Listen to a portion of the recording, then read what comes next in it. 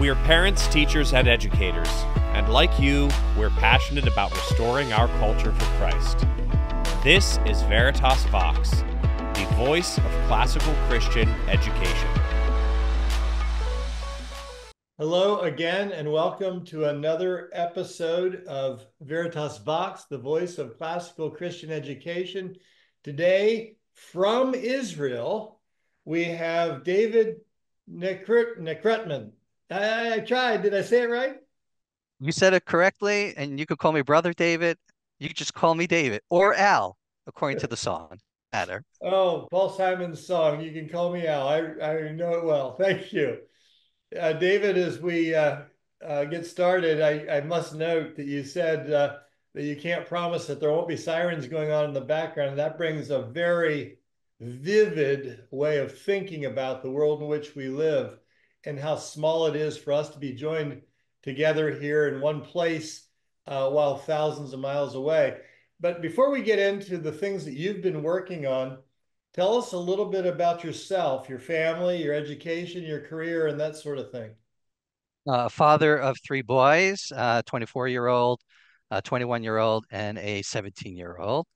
Um, my wife, my wife is actually a second generation Israeli.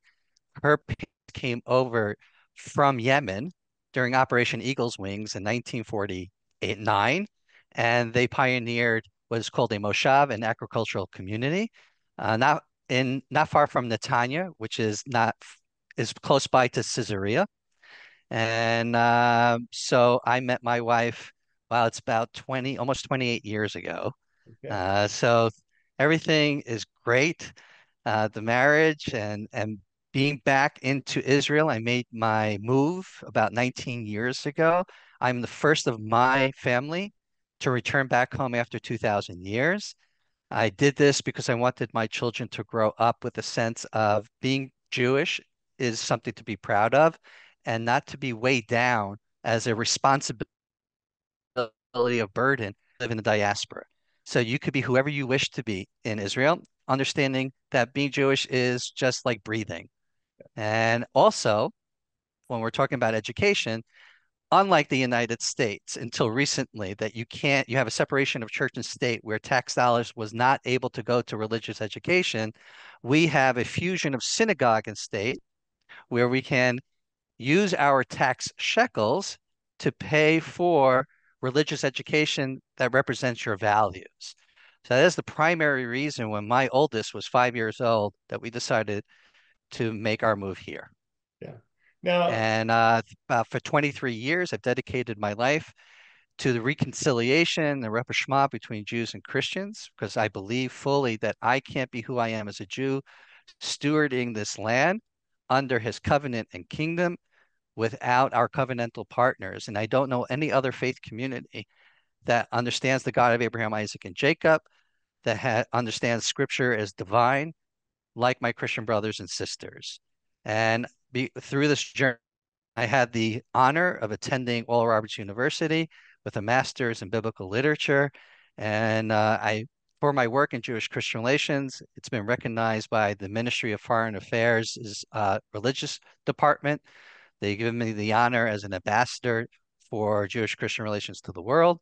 And recently, I think most people are more excited that I'm a Jewish advisor to the Chosen yeah. but I can't give away any secrets to season five.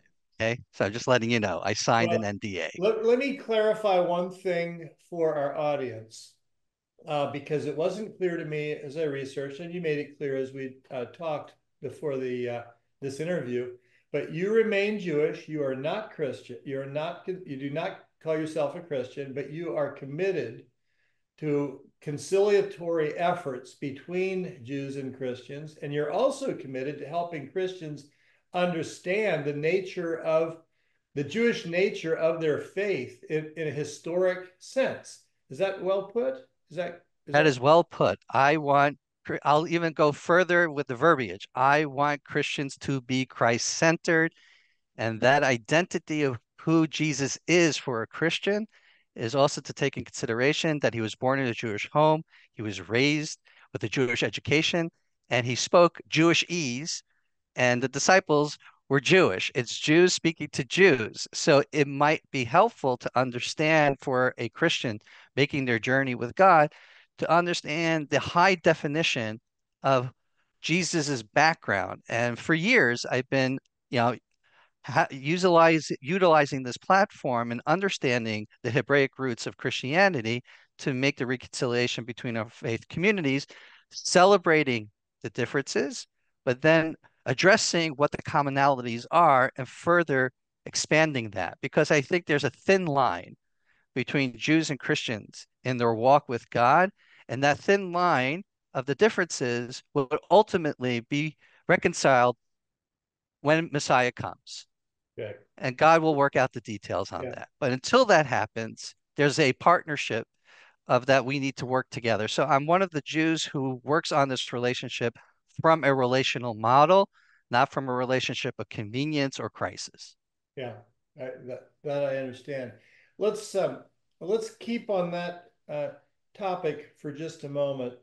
Um, as a Christian who believes, as I do, that Jesus is uh, Son in the Trinitarian God of Christianity, Father, Son, and Holy Spirit, and that Jesus of Nazareth was Jesus the Messiah and made some exclusive claims that people don't relate to him except, excuse me, don't come to being reconciled uh, to God uh, with regard to the need for reconciliation due to me, man, uh, in general, and me in particular, being a sinner.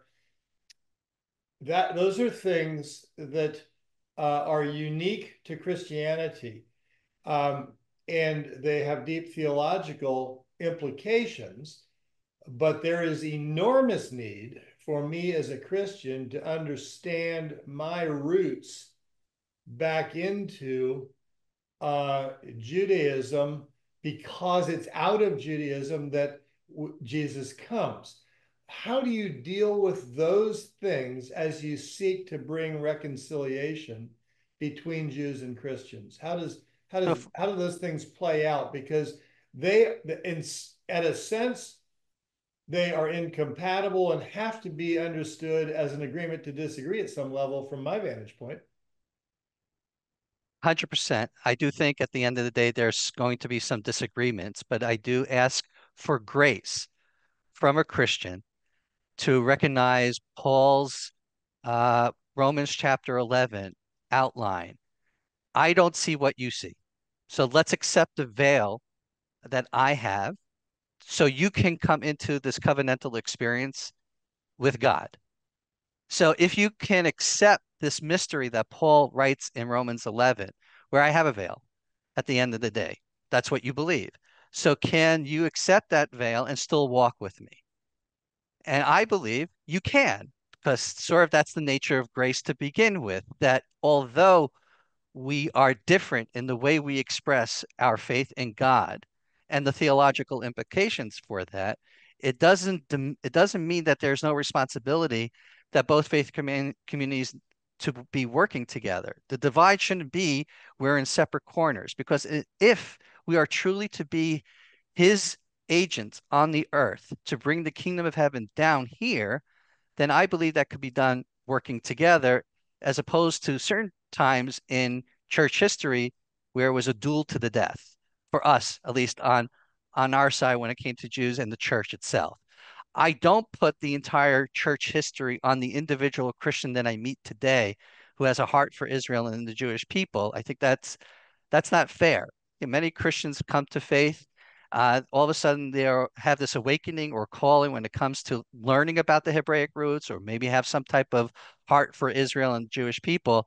So I am not judge and jury. I have to take this relationship in front of me, nurture it, enhance it, and actually have that mystery because it's also a mystery for us as Jews because although um, the church has spread out to the four corners of the world, when that happened, we weren't able to do our own mission the same way anymore because often what happened was Jews were put into very precarious situations throughout church history, uh, ending up in ghettos, uh, pogroms, and so on and so forth.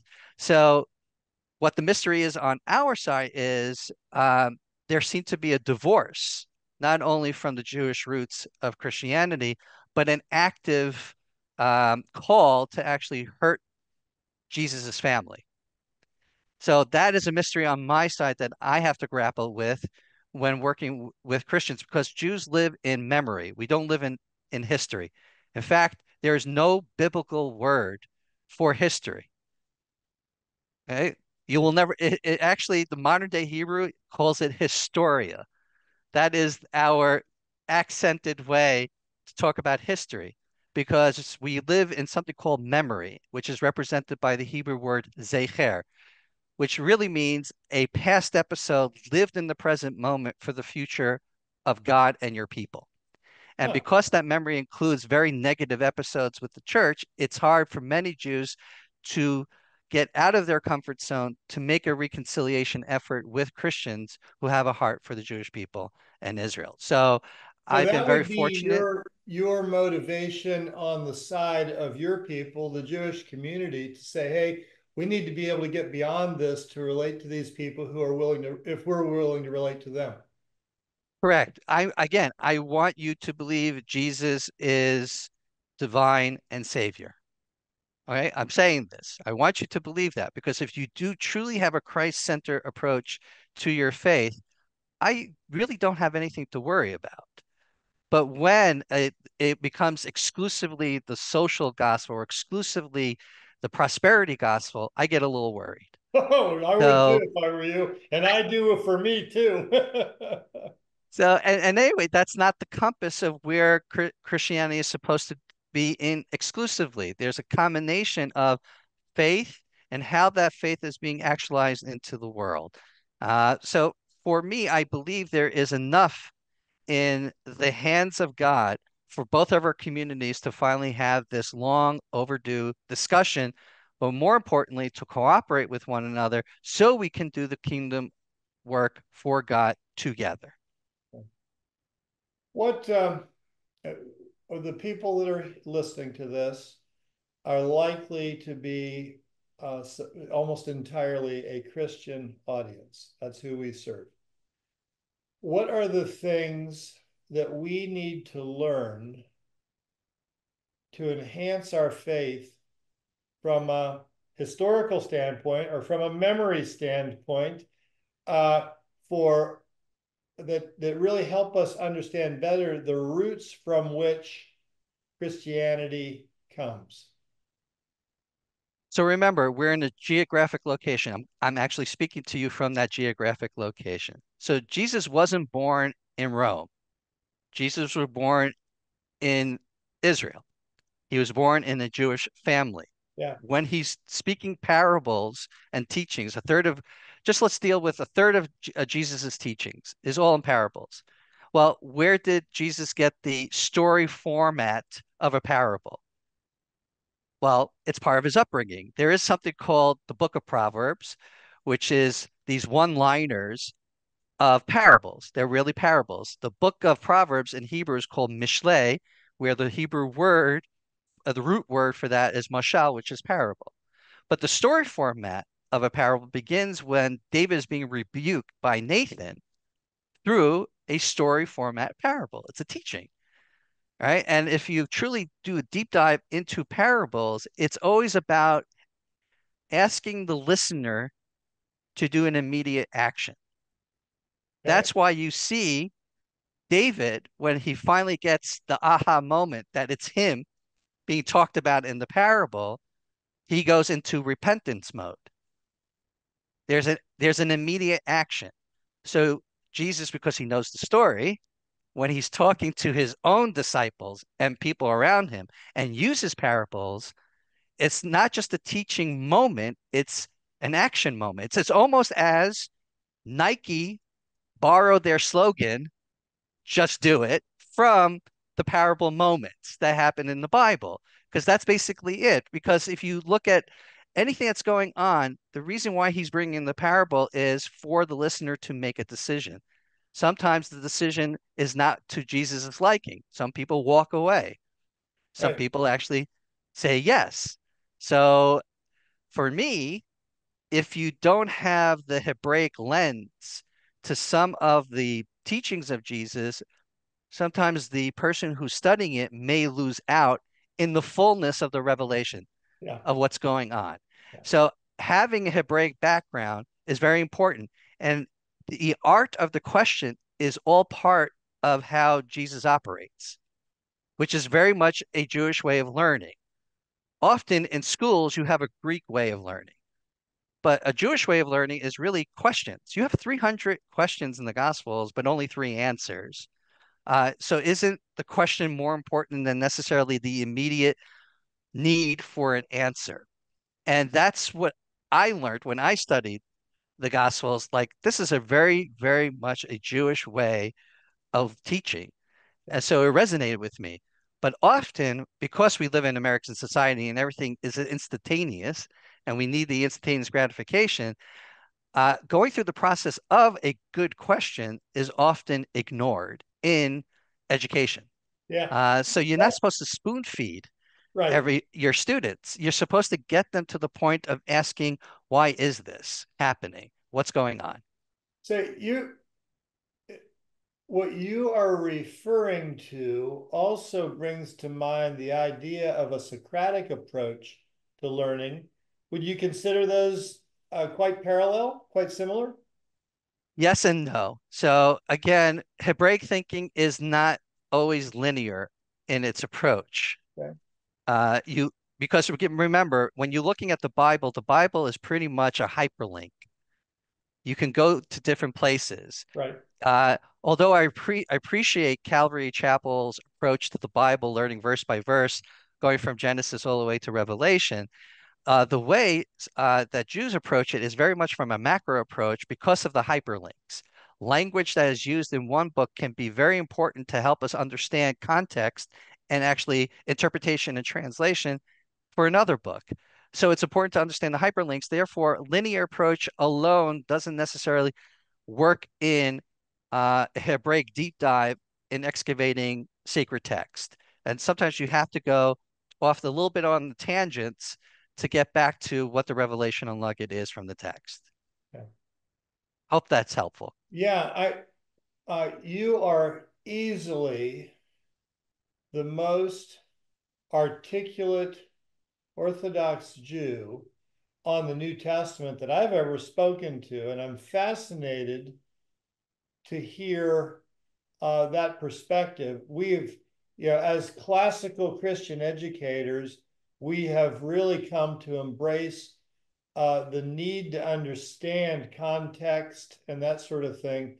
So when Paul is um, preaching on Mars Hill, the context of what Mars Hill was to the culture is significant. But you take this in a much broader and deeper way by saying, uh, Christian, you you will benefit a lot from understanding the historic context from which your Christian faith comes. Yeah, I'll even go. Let's just do a, a quick deep dive for a second because when you, we talk about the woman who is experiencing a heavy blood flow for a number of years, and she's rushing into the crowd, all she wants to do, uh, well, in most translations, is touch the hem of Jesus's coat, right? And there's the famous gospel song on that in the 1940s, and uh, where Sam Cooke is singing that when he was part of the Soul Stirrers. So it's not the hem of Jesus's coat; it's actually the tassels or fringes, or in Hebrew we call tzitzit, that Jews wore as part of their garb in their expression of their faith to him as as outlined in the book of Numbers. Right? So why is the woman wanting to touch the tzitzit, the tassels? What why is that so important for her? Why why that particular thing? So once you ask the question, because Matthew's version of it is the shortest and sweetest of it. It does it's it's just straight to the point. She had an issue, she had a disease, she's looking for a remedy. There's no remedy. She sees the remedy in Jesus. And all of a sudden she figures that the way to do this is to touch his tassel. And then Jesus tells her, and he, he's not saying he healed her, it's her faith healed her. So what does faith have to do with these funny looking strings that you see? And the answer is you have to go back to the book of Numbers. But the, the book of Numbers is a weird book. It's a hodgepodge of stories and it is laws. very hard for me as a Christian to understand numbers. Yeah, it is because it's a hodgepodge. It's not, it doesn't work out as a law book. It has stories. So the story of the 10 spies is very important to the introduction of the fringes mandate that's given to the Jewish people. Now, I don't call the 10 spies because A, uh, you can't say anything is a, on a recon mission if you're telling the public about it. If you're selecting people who are heads of this, who have no training in spy work whatsoever, right? And you're bringing back large amounts of fruit that are pretty big. So, like, you're asking customs to beg you to ask you the questions what are you doing so nothing of this smells of spies in, in fact i call this the 10, 10 tripadvisor reviewers episode because it's really there moses is trying to accomplish a pr win the people are low in their morale he wants people to get excited they're going into israel so he figures he'll do this PR thing of getting the heads of the of the tribes to go into Israel, come back with a great report. Everyone is pumped up. We're ready to go in. And unfortunately, they gave a bad review. 10 of these people get a bad review on TripAdvisor. And, and then what happens? So much happens in this moment where they lose their faith to such a degree they want to replace Moses. And that is the nail in the coffin for the generation that saw open revelation and went through all these miracles, lost their faith in a moment because of bad for a bad TripAdvisor review, and they get killed out in the desert. Okay, but it comes down to faith. Right after that story, you have the introduction of the fringes on a four corner garment that you're supposed to wear. And it's about faith. It's about making sure that you don't deviate from what God wants walk for him. So now we can understand why this woman, who's so desperate for a remedy, who technically should have given up on her life because she didn't see any any remedy whatsoever from a from a physical world point of view, but she remembered something about her history. Yeah. And she figured if I could touch the fringes of Jesus, that might be the key. So with the background of understanding numbers properly from a macro approach, it helps then to see the story, even from a Matthew point of view, which is the shortest, in a new light. And it comes out. Now you can understand Jesus' uh, response finally. It's your faith that healed you. Yeah. Because she remembered her ancestors. If that makes sense. This is like a like a real deep dive in a in a few minutes. Yeah, it is. In in all of what you're doing, what I see is an attempt to bring to educate Christians about Judaism, to help them understand their faith better. I get that. I think that's very important. But what does success look like for you beyond that? What do you hope to accomplish? In 20 years, uh, you will have been involved in this more than 40 years, and you look back, what will you hope to have had happen as a result of your work? I've been very fortunate that many pastors that I brought to Israel or I have a relationship when I go around the world and I speak, that they have a heart for for the Jewish people, for the relationship in and of itself. So I've already like if God took me now, I'm really content because I search something that is truly higher than me. I move the kingdom of God just a little bit in the reconciliation between both of our faith communities. But my new chapter in the last couple of years is really to go into Bible education in the Christian world. And my hope is that by fusing critical thinking skills with Hebraic thought, that this may be a key for teenagers that are learning the Bible get an appreciation of the sacred text in a more profound way that they're walking with this. And we don't i don't have to hear the barna research statistic anymore that 90% of teenagers that grow up in christian homes leave their faith. I don't want christian teenagers to walk away from their faith a, you have an amazing faith but B, that maybe the way that we're teaching the Bible can be done a little differently by providing the the developing of the muscle of critical thinking skills through the Bible. Because often what happens in Christian education with critical thinking skills is you're buying secular books to help you on develop that muscle. And I'm like, wait a second, you're only spending like four years, you know, with the secular book. Why don't I use the one that will be with me eternally? And that's the Bible, right? So when when God takes us up to heaven, you know, what are we doing all day? We're learning his word. We're basking in the light, but we're learning his word. Well, do you have an elementary approach to that? Or do you have a more sophisticated approach? And maybe if we have a more sophisticated approach, a win for me is that many Christian students do a deeper dive than mostly what happens in Christian education is a devotional approach to scripture. Where you're reading chapters and verses, you got the highlights, and then you do uh, worship and you pray. Very important. But you can't expect someone who's going through their teenage years and developing their mind to use the old school method for that age.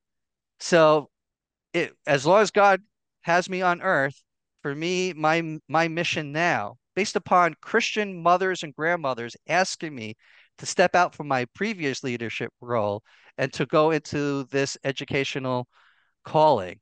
Uh, and uh, for me, as I said, if if Christians can, especially Christian teenagers, can recognize that Jesus is Jewish for them and that the text is profound but you but many people just don't know how to dissect it in a way that will resonate more than just how I'm feeling about the text as opposed to what is the text really saying yeah and yeah. what can I learn from that in my walk with God yeah yeah well God is an eminently logical God and logic is a discipline uh, that can be studied and understood and it's a critical element within classical Christian education uh, and and uh, uh, contributes to what you're talking about as well.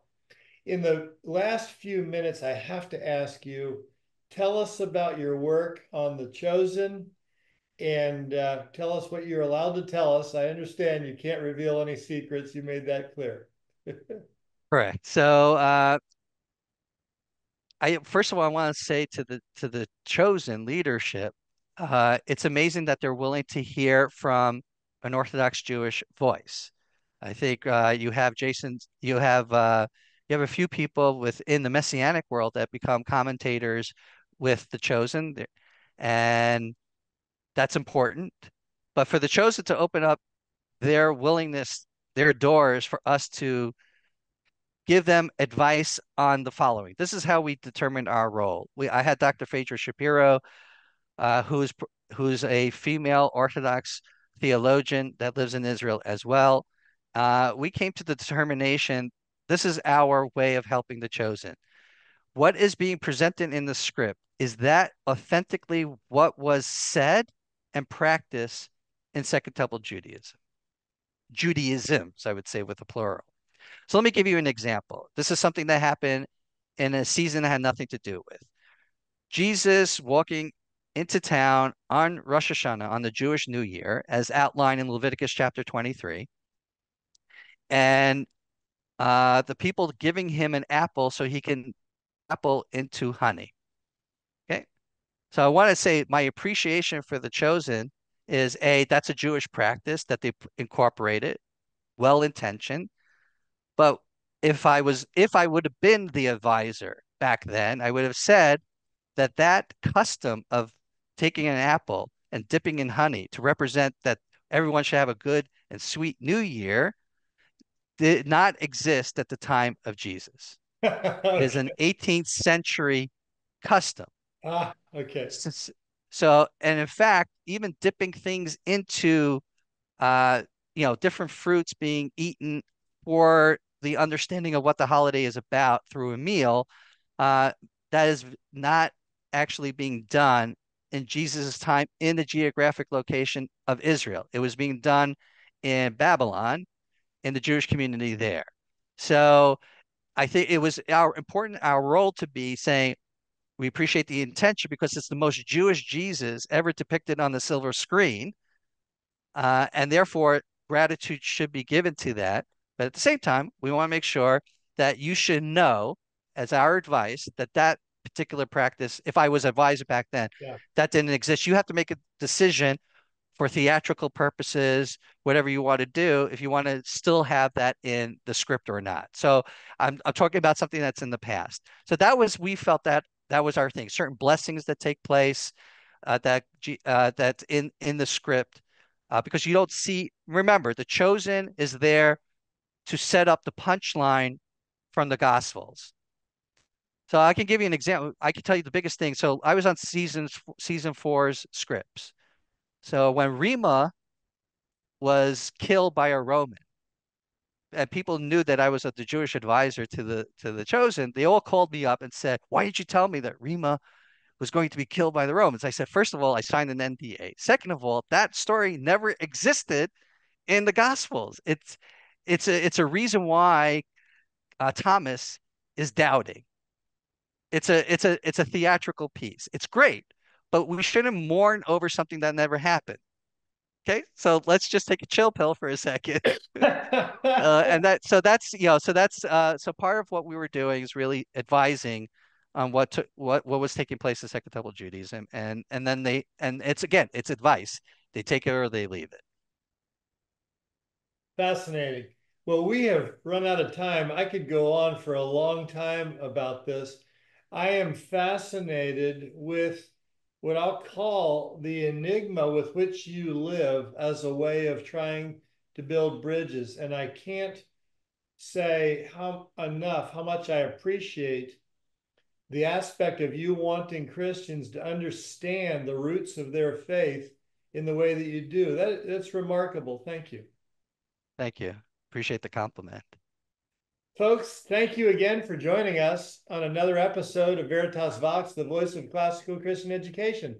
We hope to see you next time.